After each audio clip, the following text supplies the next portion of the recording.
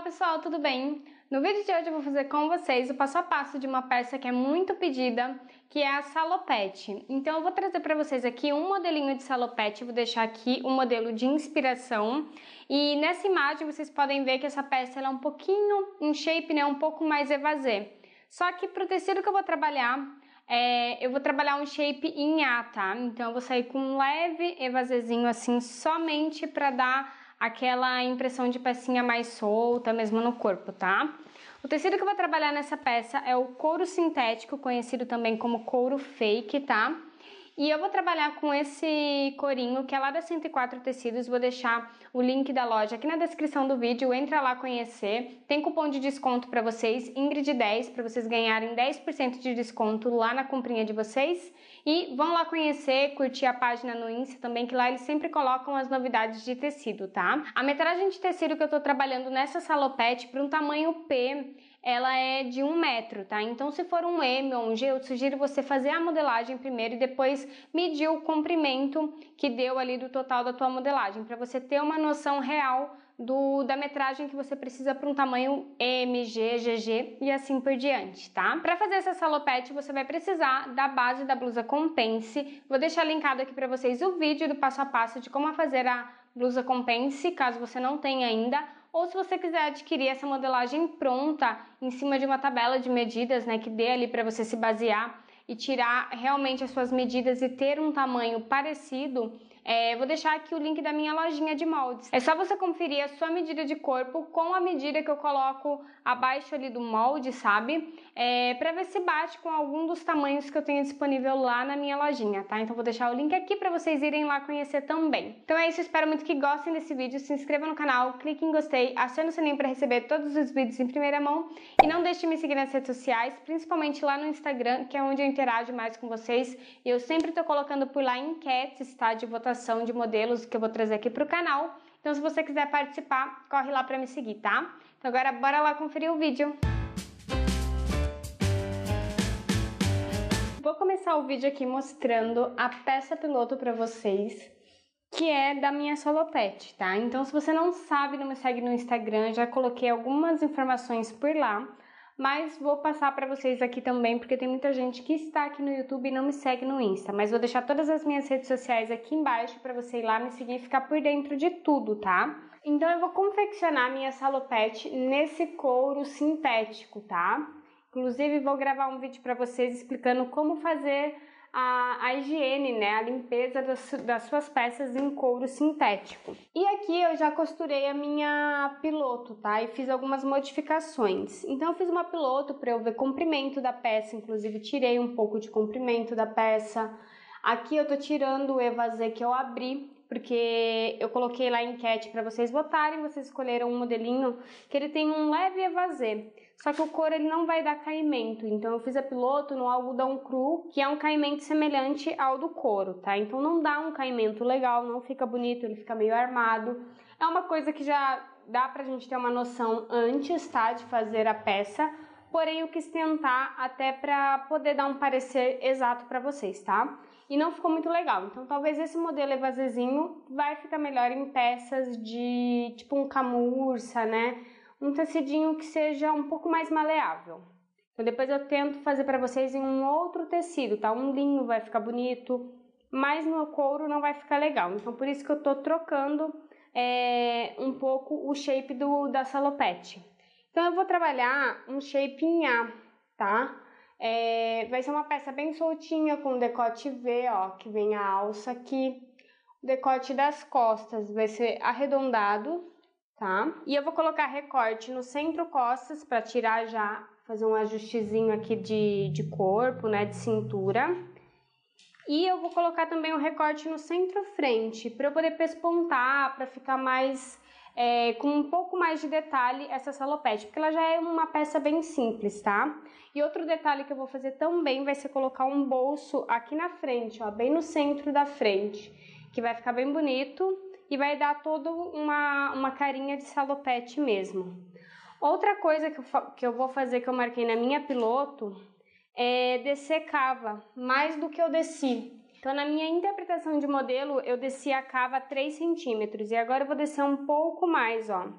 mais 2,5. Então vai dar 5 centímetros e meio para descer na cava, para ela ficar uma cavona solta, porque a ideia da celopete é usar com outras blusinhas por baixo, tá? Camisa, blusa, enfim, outra peça por baixo. Para fazer essa modelagem, vocês vão precisar da base da blusa com pence, pra gente transferir, né, pence para aqui para barra, né? Porque vai dar um, um leve azinho já nesse nessa salopete.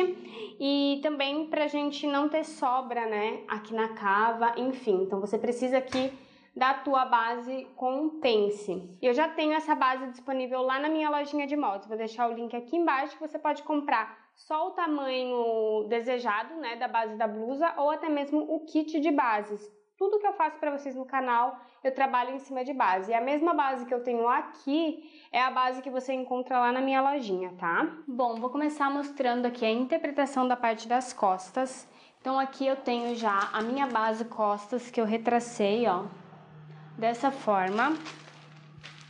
Fiz a marcação de pence para ficar visível e eu mostrar para vocês onde eu vou tirar essa pence, tá? Que não vai ser nessa parte aqui que está marcada, que é a partezinha da base, né? Depois de retraçar a minha base, eu comecei fazendo a marcação da metade do ombro. Então, meu ombro aqui da base tá com 12 centímetros. Eu encontrei a metade, que foi 6, e coloquei a medida de 1,5 para cá e 1,5 para o outro lado, tá?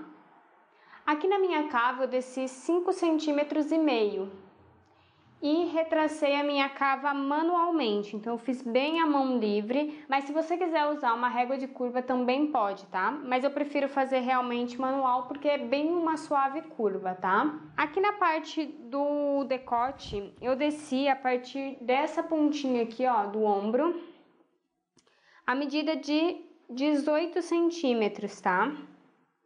Então eu fiz a marcação aqui e também tracei esse meu decote das costas, tá? O comprimento dessa peça eu já defini que é 80 centímetros a partir do ombro frente.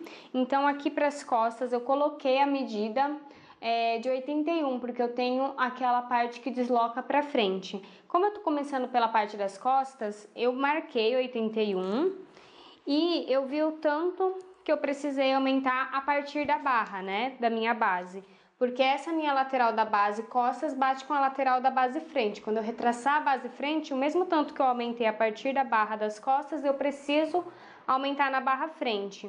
Então essa minha medida, ó, para completar nessa medida de altura de comprimento, foi de 22 centímetros e foi o que eu joguei aqui, ó, abaixo da barra, tá? 22 centímetros. Dei continuidade aqui nessa linha do centro, costas, e eu marquei aqui com pontilhados a barra, né, em verde. E a medida que eu coloquei aqui nessa barra foi de 28 centímetros. Como eu já tenho a peça piloto, eu medi bem certinho, né, alfinetei e eu cheguei ali numa medida desejada para barra. Então eu medi, que deu a metade da barra, 56 centímetros. E aí eu dividi por 2, que deu 28 centímetros. Então, eu vou ter que ter 28 nessa parte das costas e 28 também ali na parte da frente. Depois eu mostro pra vocês, tá?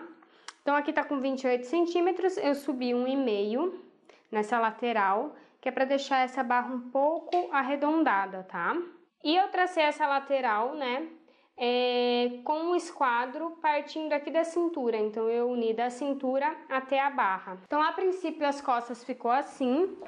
Agora eu vou tirar um pouco, vou fazer né, um ajuste aqui no centro costas, porque como eu falei para vocês, eu vou colocar um recorte no centro costas e no centro frente para eu poder pespontar, ficar bem bonita essa salopete. A minha pence das costas, ela tem aqui a medida de 3 centímetros, mas eu só vou fazer um ajuste na cintura de 2 centímetros, então eu marquei aqui 2. No meu decote aqui, ó, na altura, eu tô colocando também uma medidinha de ajuste de 0,5 7, tá? Milímetros. Que é só pra a gente já dar uma puxadinha na parte do decote. Como vai ser um decote costas bem decotado, é legal também já colocar um pouquinho de ajuste aqui. E se for necessário, eu ajusto um pouco mais na hora de confeccionar a peça e aviso vocês, tá?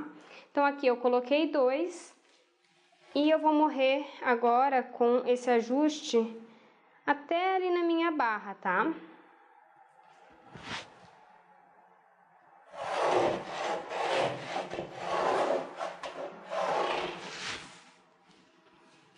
E agora eu já posso acrescentar margem de costura e recortar essa parte das costas. Aqui eu acrescentei margem de costura no ombro, no centro costas e na lateral. Cava, decote e barra não vai ter nenhum acabamento, vai ser a fio, porque o couro ele não desfia, ele tem todo um processo é, para lavar, né, para manter a higiene dele, que eu vou gravar um vídeo para vocês, pode ser que esse vídeo vá antes da costura ou depois, tá? Mas a ordem não vai alterar em nada porque é uma forma mesmo de vocês conseguirem conservar a, as peças de couro sintético de vocês, tá? Então ela vai ser a fio porque é um tecido que não desfia e fica um acabamento muito bonito a fio, tá? Então vocês vão ver depois o resultado final da peça e aí vocês me contam se vocês gostam desse tipo de acabamento, mas a minha eu vou fazer dessa forma. Se você for fazer em outro tecido, aí sim você tem que pensar no acabamento. Vai debrum, é, vai ser feito com bainha, e se for com bainha precisa de margem, se for debrum também não precisa de margem aqui, somente lá na parte da barra, tá? Mas você precisa pensar nos acabamentos também, antes de cortar o seu molde.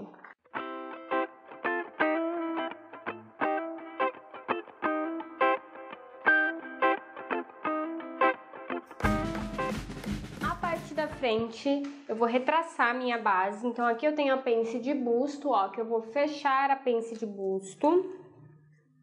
E aí, ela vai abrir na parte ali da barra, né, cintura e barra, porque eu tô transferindo essa pence. E é dessa forma que eu vou retraçar ela, tá? Bom, então retracei, fechando ali já a pence de pence. E eu já encontrei aqui a metade do meu ombro, que é 12 centímetros a medida de ombro, encontrei a metade que é 6 e coloquei um e meio para lá e um e meio para cá, distribuí, né? Para altura de decote, a partir do meu ombro frente, eu coloquei a medida de 24 centímetros e meio. É um decote bem profundo mesmo, porque é a intenção dessa salopete, tá? E aí tracei uma reta ligando desse ponto até a altura de decote que eu defini. Se você quiser deixar esse decote maior ou menor, fica a critério da sua interpretação de modelo, tá? Na cava eu desci o mesmo 5,5 que eu desci na parte das costas e agora eu vou traçar essa cava aqui manual para vocês verem como que eu faço, tá? Agora eu vou colocar aqueles 22 centímetros que eu aumentei lá na parte das costas de comprimento, eu vou colocar também essa mesma medida aqui no comprimento da frente. Fiz ali a marcação de 22. Lembra que eu falei que eu já alfinetei na peça piloto o tanto que eu quero da, da minha barra. Aqui, para não ficar tão desproporcional se eu colocar 28 centímetros, eu vou deixar com 30 centímetros, mas eu acredito que vai ficar bom aqui, tá? Então, coloquei 30 centímetros e eu vou subir aquele 1,5 que eu subi na parte da lá das costas também, tá? E aí eu venho arredondando aqui. E a minha lateral eu vou unir aqui da cintura até essa parte da barra. 有吧。E ficou dessa forma. Agora eu acrescento margem de costura na lateral, no ombro e no centro frente e recorto. Decote frente, cava e barra vai ficar com acabamento a fio. Para decote, cava e barra, o acabamento fica a fio, como lá na parte das costas, tá? Lembra que eu falei que vou fazer um bolso também para essa salopete, né? Para colocar no centro frente. Para localizar essa, esse bolso vai ser bem simples, porque eu vou ter um recorte no centro frente. Então eu vou localizar ele a 3,5 do a partir do decote, tá? E aí eu mostro para vocês na parte da confecção.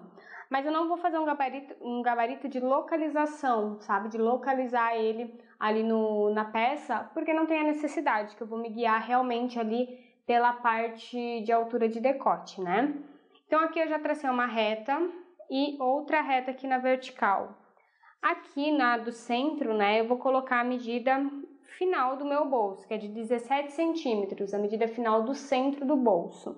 Eu vou fazer ele com aquele biquinho, tá? Aqui em cima eu coloquei a medida de largura do bolso, então a largura do meu bolso vai ser de 16 centímetros, então eu coloquei 8 para cá e 8 para cá. A partir aqui do final do meu bolso eu subi 3 centímetros e agora eu vou marcar 8 centímetros para cada lado também.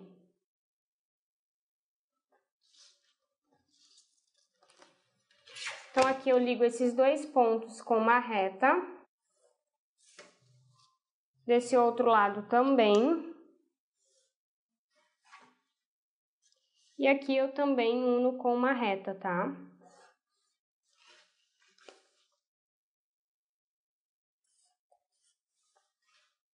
E agora é só cortar. Eu não vou acrescentar margem de costura porque o bolso também vai ser a fio. E aí ele vai ter aplicação, ele vai ter o pesponto, né, bem na lateralzinha aqui, ó, mas sem dobrar, sem vincar esse bolso. Então vai ficar bem interessante também o resultado dele. Então é isso, pessoal. Espero muito que tenham gostado desse passo a passo dessa salopete. Comenta aqui se você está muito ansiosa para ver o resultado final dessa peça, que eu tenho certeza que vocês vão amar, vai ficar incrível.